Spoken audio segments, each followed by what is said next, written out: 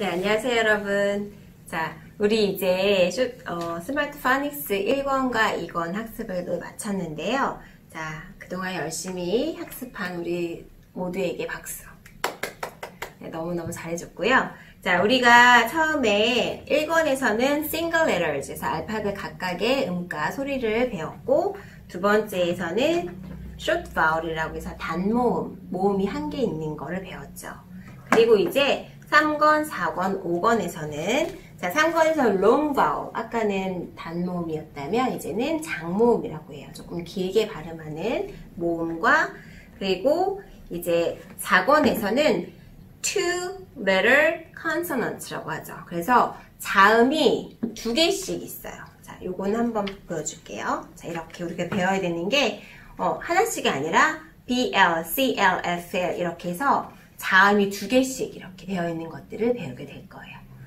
그리고 마지막 5권에서는 자, two letter vowels. 아까는 자음이었다면 이제는 모음이 두 개가 조합이 되는 것들을 배우게 돼요. 그래서 E, E, E, A, O, A, O, W 이런 식으로 해서 모음이 두 개씩 연결이 되는 것까지 배우게 돼요. 자, 이렇게 해서 여러 가지 학습을 하게 되는데, 자, 이제는 3, 4, 5권은 친구들이 한번 집에서 엄마랑 또는 스스로 학습을 할 수 있게끔 도와줄 거예요. 근데 어떤 식으로 학습을 하냐? 우리가 벌써 1권, 2권을 같이 잘 해왔었기 때문에 친구들도 자신감이 붙어서 잘 할 수 있을 건데, 자, 이 책에서 우리 선생님이랑 같이 할 때 했던 것들 많이 기억나죠? 우리 귀여운 Smart Phonics 무료 앱도 있고 앱에서 이제 활용을 하면서 공부를 할 수도 있고 그래서 우리가 여기 앞에 있는 거 이렇게 QR코드 찍어서 들어가도 되고 아니면 앱을 아예 다운로드 받아서 활용을 해도 되고요. 그래서 친구들이 문제를 풀 때 여기에 맞는 거 트랙 번호에 맞춰서 플레이를 하고 이제 풀어주고 하면 되겠죠. 많이 듣고 연습을 하면서.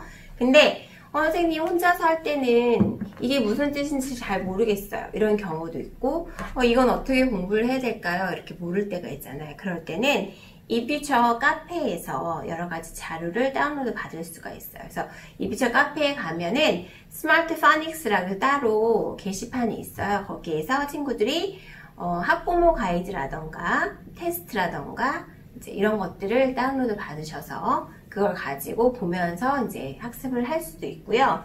그리고 우리 이퓨처 홈페이지에 보면은 다양한 자료가 있어요. 그래서 여기 뒤에 보시면 여기 나와 있는 이런 자료들 이런 것들을 다 다운로드 받을 수가 있으니까 이 퓨처 홈페이지에 가서도 친구들이 어, 선생님 저는 보드게임 이거보다 훨씬 크게 뽑고 싶어요 했을 경우에 이 작은 거 말고 크게 뽑을 수 있게끔 되어 있는 자료도 있고 flash card도 선생님 저는 이렇게 작은 거 말고 선생님처럼 큰 거 하고 싶어요 할 때는 또 다운로드 받아서 활용할 수가 있어요. 그리고 답지라던가 그리고 게임 방법이라던가 이런 것들도 다 자료에 있으니까 친구들이 다운로드 받아서 모르는 것들은 엄마랑 같이 보면서 학습을 쭉 해나갔으면 좋겠습니다. 그래서 친구들이 5권까지 학습을 다 하고 나면 이젠 정말로 파니쉬 규칙에 맞춰서 여러 가지 단어들을 읽을 수 있게 될 거예요. 그래서 친구들이 천천히 너무 조급해하지 말고 잘 모르는 것들은 다시 한번 반복하면서 연습을 하고 그렇게 해서